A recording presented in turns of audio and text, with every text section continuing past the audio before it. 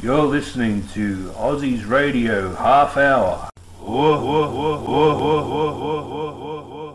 Here is your host, Ozzy.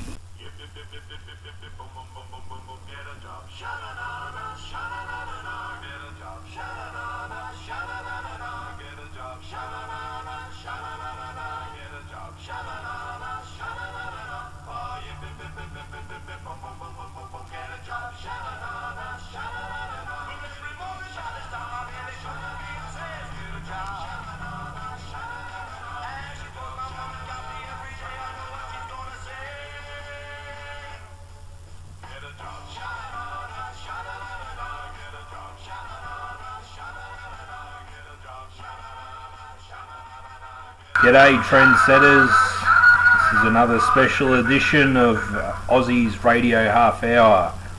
It's the Jobs, Jobs, Jobs edition. And uh, that was um, Old 55 with Frankie J. Holden.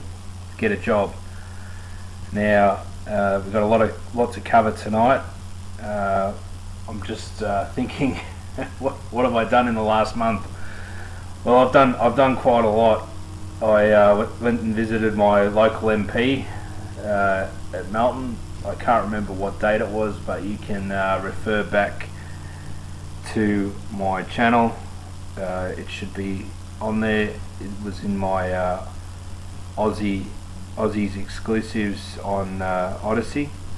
Now, um, what I should have done, I should have introduced that first up, but why don't we um, kick right into it and I'll introduce my new uh, sub channel. Uh, it's on Odysee. It's called Ozzy's Odysee Exclusive. Now, I have added a link to my Odysee channel on all my videos, and uh, this one's no exception either. So I've added on my main description on the channel a link to Odysee and um, what you can look out for with these uh, Ozzy uh, Odysee exclusives. Um, specifically just for Odysee because uh, we all know that YouTube uh, are a bit of a bastard and they, they do like to uh, censor so um, a lot of my videos that are too hot for uh, YouTube go to Odysee or you know even if they're they're not quite videos, they're really just undercover pocket videos. Uh, a lot of people would get really peeved if I was to say that I would be filming them and um, it wouldn't have the same effects and I don't really want the authorities after me just yet so I'd rather not be you know getting myself into trouble and and uh, having uh, my uh, you know rights taken from me and violence put to, on towards me. So uh, if it was a better better time and a better place, for sure I would I would film and uh, you know we do have every right to film, but unfortunately uh, being a communist socialist uh, dictatorship in Victoria or Australia, that isn't the case. Um, and yeah, so I, what I've been doing is I, I did uh, interview my local MP about uh, the lack of support for unjuiced workers who have lost their jobs over the mandates and are only now trying to find meaningful work. Uh, Victoria has since dropped the mandates for the you know what and um, but the problem is that the government has given authority to uh, to individual workplaces to to dictate whatever um, mandates that they want to put forth. So uh, it is a bit difficult for uh, employee and employer to get around what is what is real and what is true. Um, you know, and lately I've had to school a lot of a lot of people in saying that this isn't um, this isn't true. It isn't what it is. You don't have to get it.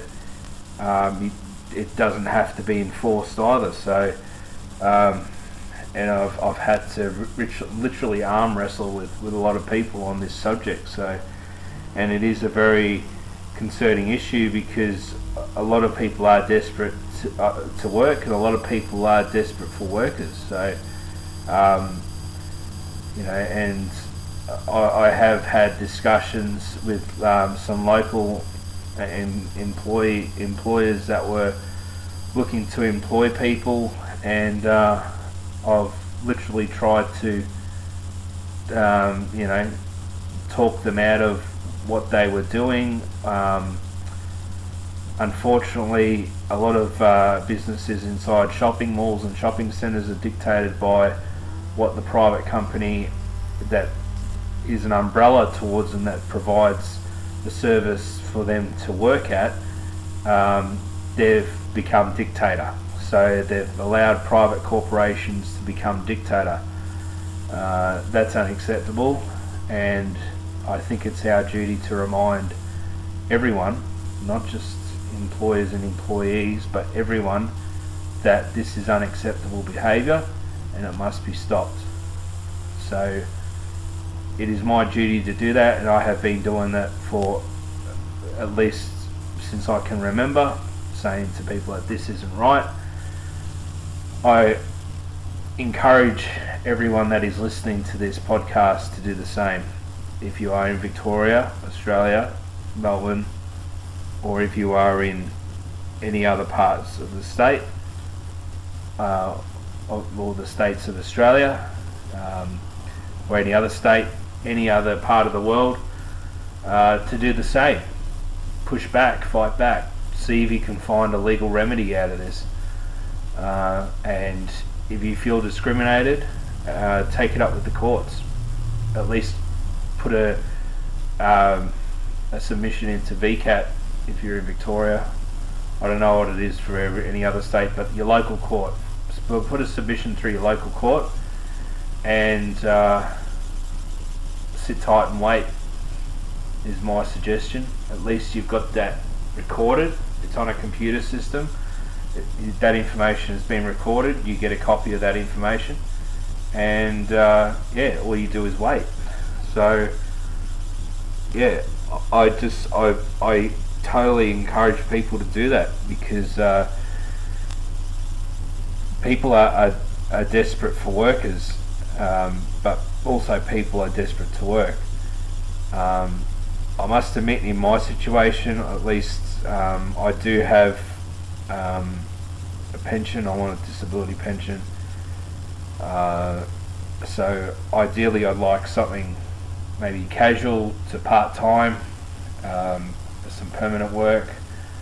Unfortunately, not full time uh, because of what my disability is, but um, you know, I'm just reaching out out there. If there's anyone out in the western suburbs of Melbourne that is uh, wants a, a keen worker, I'm I'm, uh, I'm I'm I'm raring to go. So yeah, um, look, I, I, even went to uh, a jobs fair in uh, Woodgrove Shopping Centre in Melton. Uh, they had pretty much just I think it was a knee-jerk reaction. I, I, honestly think it was a knee-jerk reaction by uh, the MP that's in Melton. I'm not going to name names, but I think it was a knee-jerk reaction by me going to his office. But at the same time, I kind of think that they were going to do it anyway. But it was just to, you know, further add salt to the wound. Um, and just like it was it was hopeless. The whole thing was like who would want a job at bras and things? This is what I'm saying. They, they had they had jobs at bras and things, right? And retail. I was only going to apply for a job at, bra, at bras and things. I was going to say, okay, let's go. I'll send him a resume and apply for a job at bras and things. I couldn't be bothered because you had to register through the jobs network there, and I think you had the QR code or do something along those lines of either registering online or either with the QR code or something, right? and um, I did on the first day there. I did um, have some sort of an interview with the council and another job centre there, Djerriwarrh Job Centre, which I already had liaised with. Uh, unfortunately, due to my uh, situation, I'm unable to use their services, but um, a lot of their jobs anyway, you, you do you need you need the uh, the juice to, to get the job. No jab, no job. So, and that's the same with the council, uh, and that's the same with any form of uh, health and mental health work that's going there. So, um, it is really tight. It is really tight at the moment. Um, I was told by one of the the ladies there uh, through the job centre there that I'll I'd be better off waiting until next year. But it's like, well, how long do I need to wait? You know, how long how long does one need to wait? And you know, like th- these people don't even think that I've been discriminated against. You know what I mean? And uh, there's there's no recourse as well. If you try and take these to the courts, these cases to the courts, they're really going to slow everything down.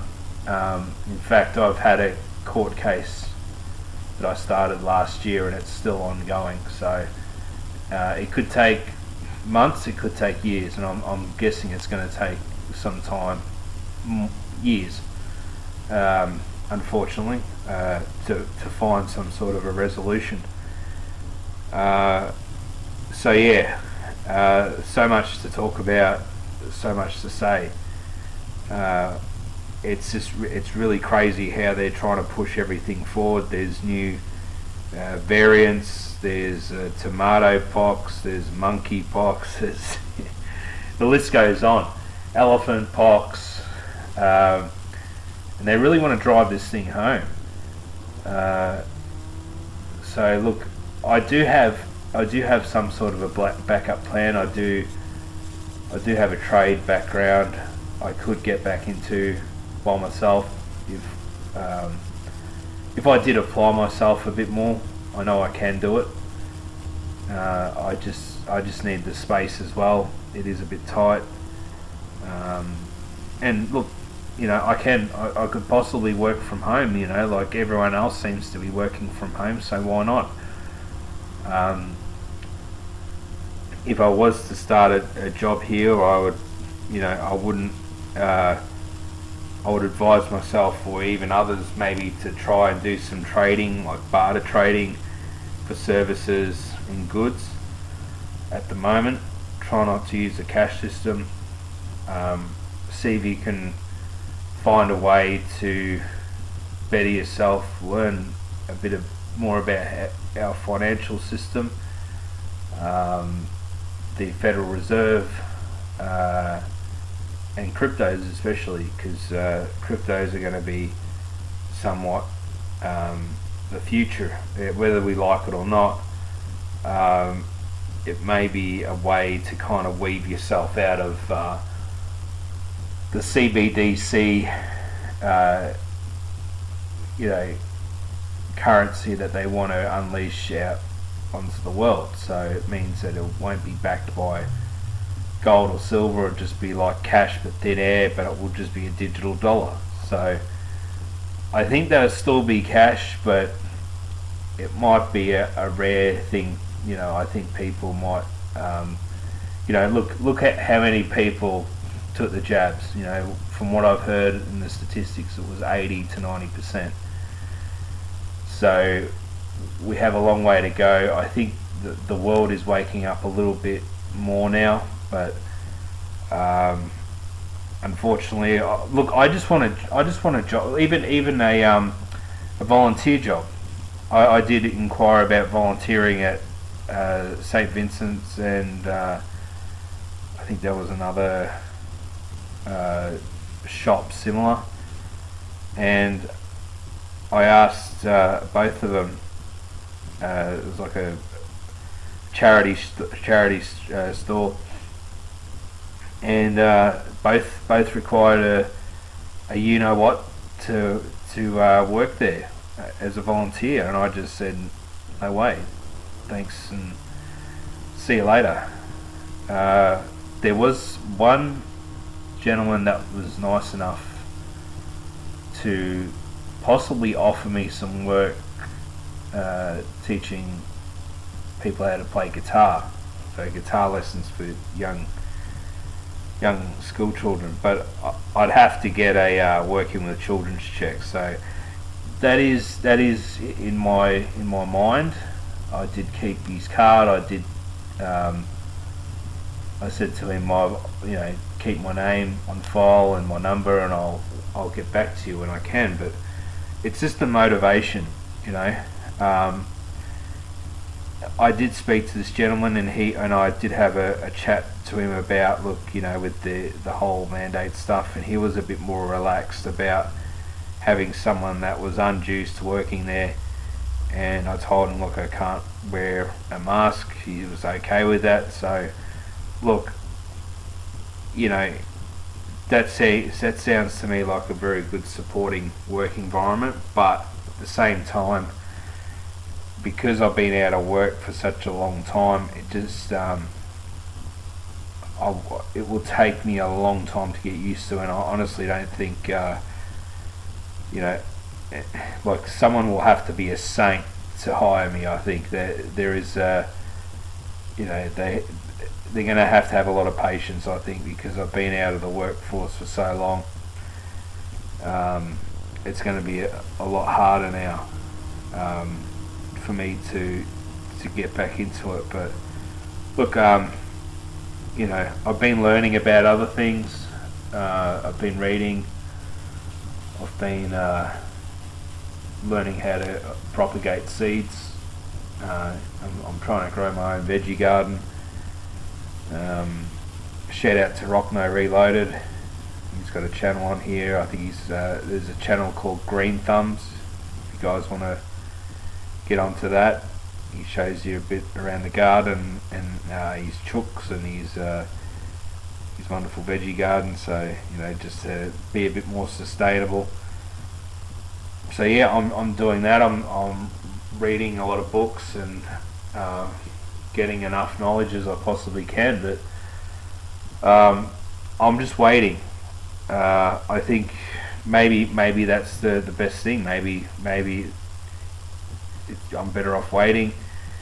Um, you know, I've been in contact with a few people that were willing to take someone on that wasn't un, you know that wasn't um, juiced. And um, you know but they needed someone a bit more um, skilled. I'll give you an example. There was a guy that was um, that he makes. Uh, I think he makes cakes or pastizzis or something, pastizzis, and he needed one a guy that a chef that could make them, like in a factory. And I inquired about the job, and he said that I don't need the the you know what, and the, he, he didn't he didn't really care too much about the mandates, but he wanted someone that knew how to make stitzy from scratch. So the pastry and the, the cheese or the filling, you know, or the meat filling. He needed someone to do that. So I said, look, keep my number. Let me know if things come up. Because he wanted to hire someone that was professional. And he was fine.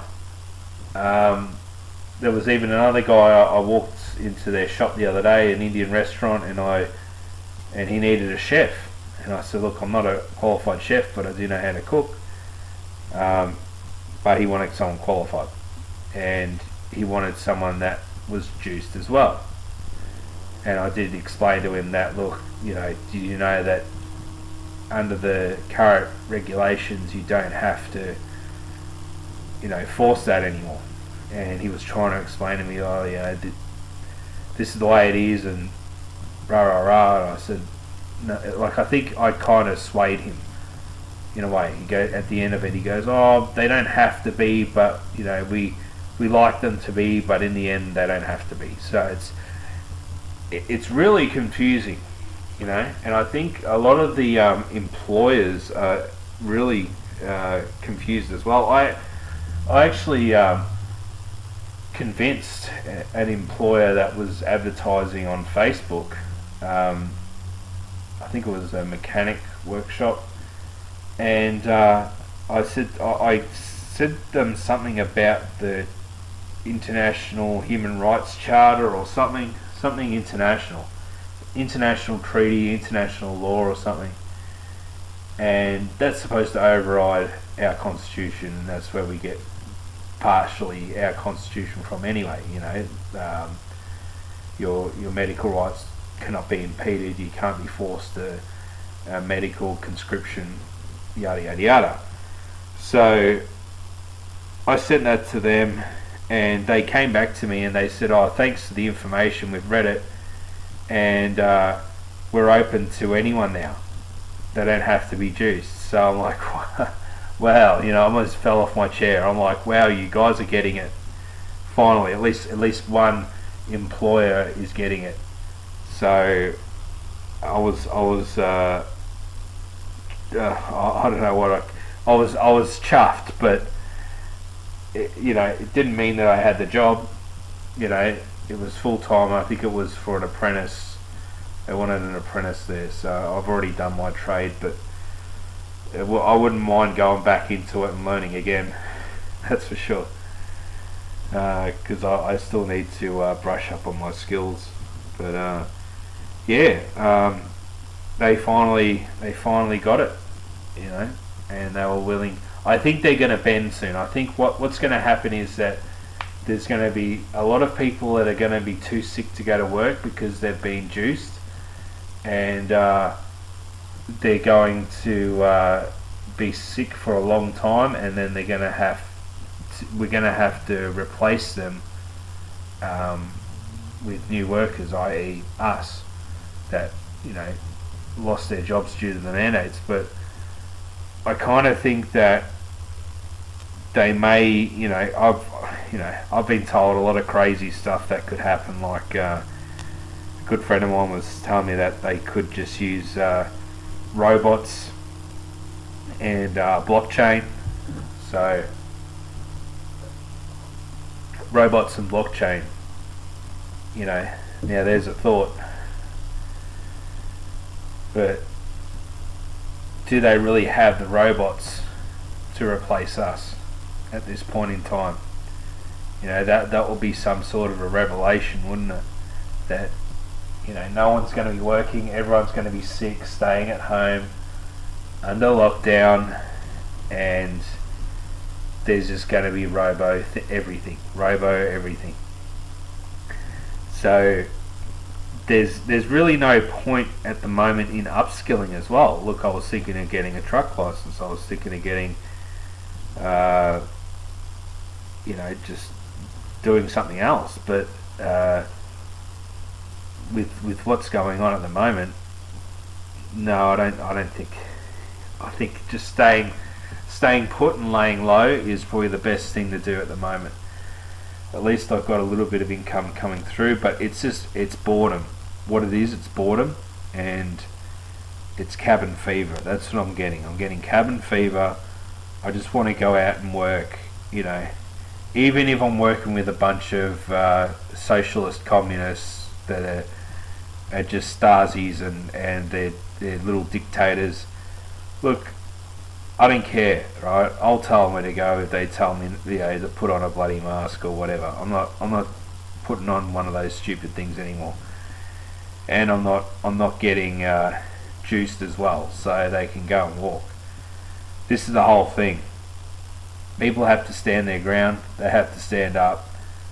Uh, there's no point in, in moving interstate either, unless you're really desperate. Uh, if you can stick it out, stay where you are. This is my advice. Stay where you are because moving is going to cost you money.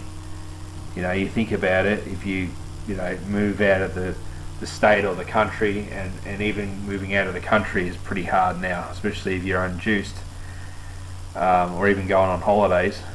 That's another story for another time. But even heading into state to start fresh. Look, a lot of people are doing it. I don't judge you for for heading north to New South Wales or Queensland or out bush. Um, a lot of people, a lot of people are going up to Queensland uh, because the mandates are a bit less restrictive there. But all in all, it's the same everywhere. Um, unless you're really desperate, yeah, why not go to Queensland, see what you can find up there. But I'm, I'm, I want to stay here because I have my my friends and my family here, and I, I, I find it hard to leave. I've, you know, I can't, I can't sell my house because I'm still paying it off. Um, I have bills and rates and mortgage just like the rest of everyone else. Um, and it would cost me to move. You got to think of that too. Yeah, I can sell everything and get what get some money for it, and then just buy a van and uh, travel around Australia in a van. But I'd like to do that in, when I retire. Why, why do, should I do it now? You know. And a lot of people say this is the great resignation. Um, that there it is. I do agree with it. However, uh, with this great resignation, I, I think uh, there's going to be a lot of jobs coming out of it. I hope. I really hope that there's going to be some sort of jobs come out of this crisis that we're able to, uh, you know, to to have uh, stability. You know, because at the moment there's no stability. Uh, yeah, I went to the jobs fair. All they had was just really rubbish jobs, uh, corporate jobs. You needed a degree. I don't have a university degree, and I couldn't be bothered applying for a job at. Uh, you know, I did check with. Uh, I think it was a sporting goods shop. Um, they sold shoes or something. I think it was Sports Co or something. And they needed the jab for you to work there. So there's no point. Another thing too, uh, there was a job opening at, at Bras and Things. I think the closest one was Baker, Baker's Delight that I probably would have been close to being eligible for. The other ones were just uh, clothing stores. And you know what clothing store, sto- clothing stores usually hire? They never hire men. It's usually if, if they're going to hire men, it's usually gay men. Gay camp men work at clothing stores or suits stores. You never see a straight man working there. You'd have to travel back in the 90s or the 80s for to see that stuff. So, um, unfortunately, these days there's just women working in, in these retail jobs, and when you when you see them working there, uh, it, it, they don't even look like they want to be there, you know. And this has been going on for, for a long time. That, that these women don't want to they don't want to. They feel out of place in the workforce. Look, call me a, a misogynist or a sexist pig, but I think the, the place for a woman, generally speaking, is in the home as a homemaker, looking after the kids, cooking, cleaning, and looking after hubby after a after he's had a nice you know a, a, long hard day at work. He lo- he wants to come home to a clean house and, and cook dinner and well behaved kids you know. Uh, and I think that's what society has forgotten today um, unfortunately. So um, yeah I'm just trying to keep my head above water looking out for any job opportunity there is I'm pretty sure they're going to have to stop what's uh, coming anyway with uh, these these stupid mandates. I think uh, what what's I, I, think there's going to be a straw that's going to break the camel's back on here. Uh, they're not going to get their workers. They're either going to have to get them from overseas, and um, who knows? They like with the things that are happening with air travel and um, you know uh, cruise ships and you know uh, cruise ships going broke. I did see a video that something fell off a plane. I think it was almost half an engine that fell off a plane in, a, I think it was in America or something. So maintenance isn't getting done on, properly on these planes. Um, you're going to find that there's probably going to be a fuel and oil shortage. So most likely these planes aren't really going to get off the ground. So they eventually they're going to have to let the unjabbed go back to work just to keep the economy alive. Um, and if they don't, then it's either we're going to go to World War Three with uh, Russia or Ukraine or whatever, or you know, there's going to be some fake staged conflict. Um, I think the Russia and uh, Ukraine thing was a was a bit of a laugh, but it won't wouldn't surprise me if they still try and push war because war makes money, um, and we're better off. Uh, you know, we're, the Weffers are pretty much uh, better off having us dead. It's uh, it, it costs them too much money to keep us alive here. That's why they want to get rid of us. So, look, without further ado, I'm gonna I'm gonna leave it there. Uh, thank you for listening. Uh, this has been Ozzy signing out. And uh, if I didn't mention the date, today is the 24th of August 2022. So I will be back next month. Uh, most likely, you know, around the end of the month. I usually do podcasts every month. So the 24th or the 25th of next month look out for PK. He's doing uh, a show every month. Get on to his uh, Patreon. Uh, I think he's going to have a catch up soon at uh, one of the pubs in the city. Uh, usually it's the Young and Jackson, but we'll keep you posted. So, uh, with that, I'll bid you good night and thank you very much and uh, like, subscribe, comment, share, get the word out. Thank you. Ozzy out.